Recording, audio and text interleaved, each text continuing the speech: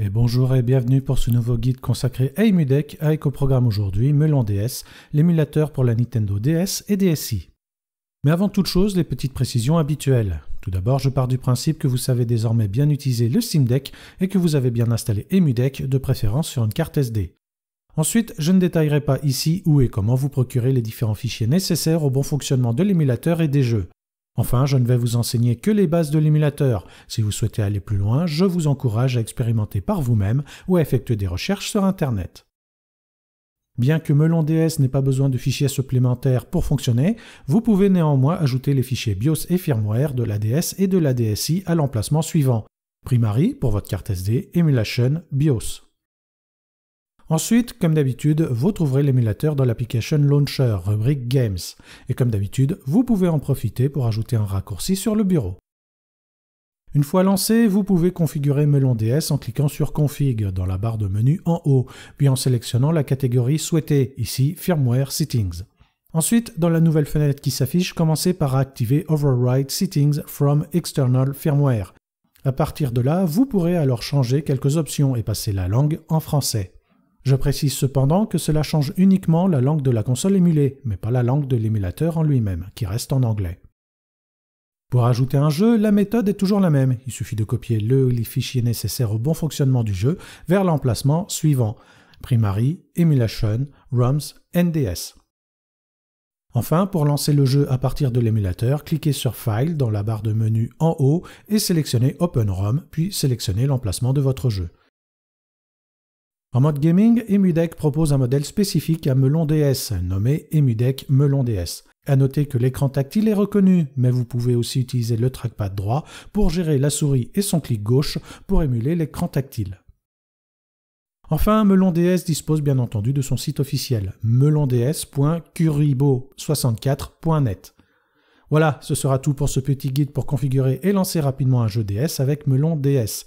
Je rappelle qu'avec l'outil SteamROM Manager d'Emudeck, vous pouvez choisir les raccourcis que vous voulez afficher sur l'interface de Steam en mode gaming, à condition de bien penser à ajouter Melon DS et de retirer la version RetroArch de la liste des émulateurs scannés, sinon par défaut il ne prendra en compte que l'émulateur de RetroArch. Or, c'est Melon DS seul que l'on vient de configurer. Sur ce, je vous dis à bientôt pour une prochaine vidéo.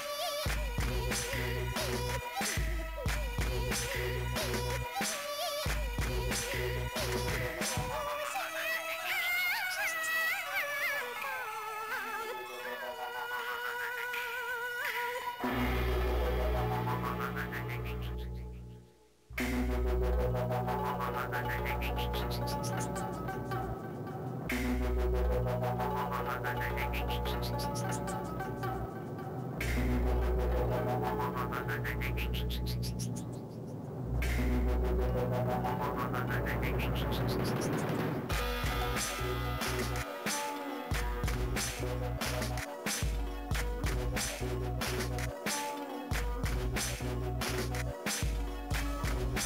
back.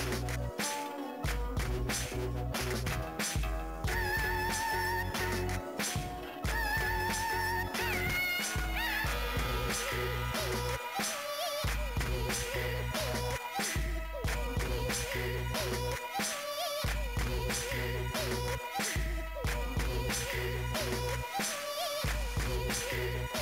you.